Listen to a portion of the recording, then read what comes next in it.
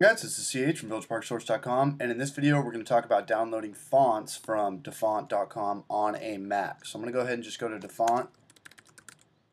There it is. It's going to auto-populate. And this is a pretty cool website, especially for those people that are into graphic design and making all those Photoshop things and all that stuff. I think there's like new stuff every day. Every time I check out this site, they've always got different fonts showcased on their homepage. So and it's all free as well. Don't feel like a pirate or something stealing some of the stuff. It's all good.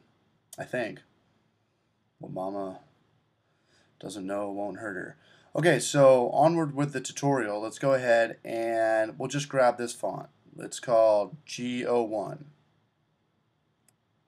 Actually, okay, we'll just grab this font. So I'm going to go over here to download and I'm in Safari, but it doesn't matter what browser you're going to be in. And I'd imagine it's done downloading, so now I'm going to go to my shortcut, and I'm going to pull up my, not my applications, but my downloads.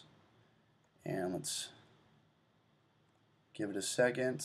Should be a folder that's going to pop up right above here. Or not. Let's just double click on that. And okay, so for some fonts, there's a folder that pops up because it also might have like a, letter from the author or a README or, or a TXT file. But this one didn't. So let's go ahead and just install the font.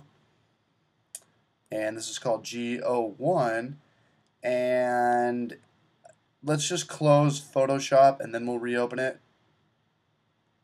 Let's click it back open right now. And let's click on our text tool.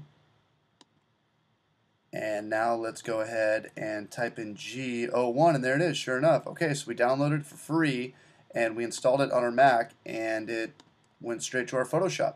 Alright guys, let me know if you have any questions. I love the feedback and uh, maybe I'll see you in another video.